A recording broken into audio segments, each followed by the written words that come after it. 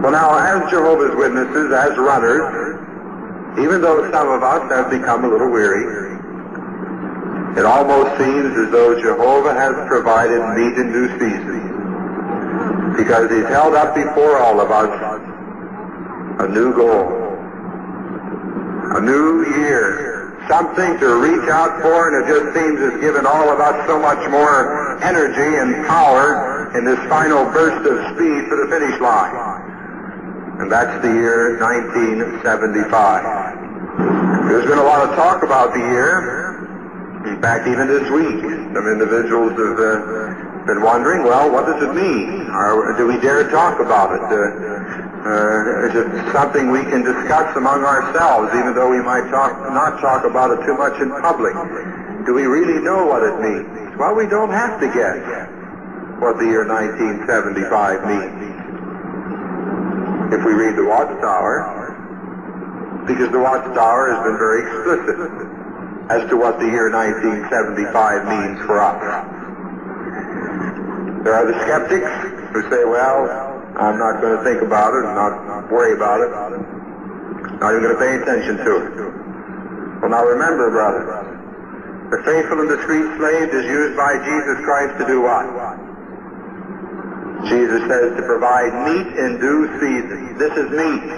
And it's come at the right time. And it's in its due season.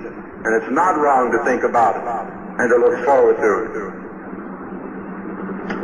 As far as knowing for sure, well, we know what we know for sure.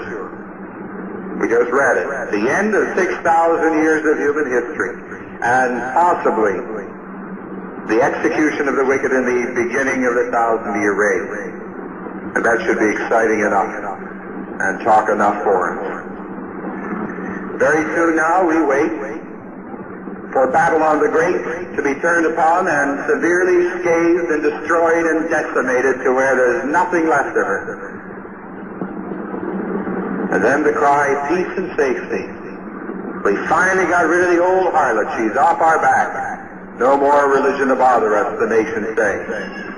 But oh, there they are, rearing their ugly heads up above the dust. Jehovah's Witnesses now with a message more fierce than has ever been heard before. Now with a taunt song to the nations. You see, we told you Babylon the Great was going down, was going to be destroyed. You said it would never happen, but you did it yourself. Now you're next. Jehovah will destroy you.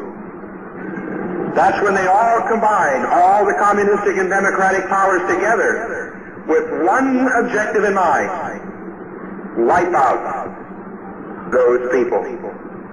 And then truly we'll be rid of all antagonists and have peace and safety and we'll have our unified world. But when they begin to attack Jehovah's Witnesses, strange things begin to happen.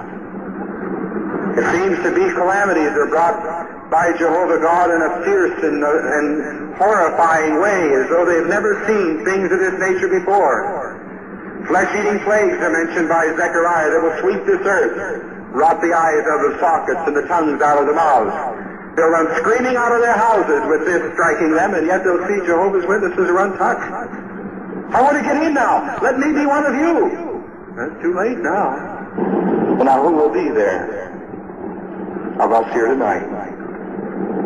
For the Society of Married Applications of this scripture and pointing out that those of us among Jehovah's Witnesses that are not regularly associating with his people without good cause, such as being flat on our back, will not be in the due order.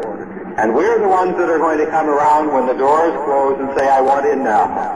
Sir, open to us. And Jesus will have to say, I'm sorry, I don't even recognize you. Now, wouldn't that be an awful thing? Do You see now why the society implores us year in and year out, the same old thing. Brothers, get in the flock. Don't let any excuses get in our way. Nothing of any nature. There's only one thing that's going to count when that time comes, and that's that we are inside. And we hope that all of us here tonight are going to listen to the society's imploring. We're going to listen to their agonizing entreaty, brothers get in, because they know what's coming. and it's coming fast. And don't wait till 75. The door is going to be shut before that. So, what are we going to do now with our future? As one brother put it, stay alive to 70.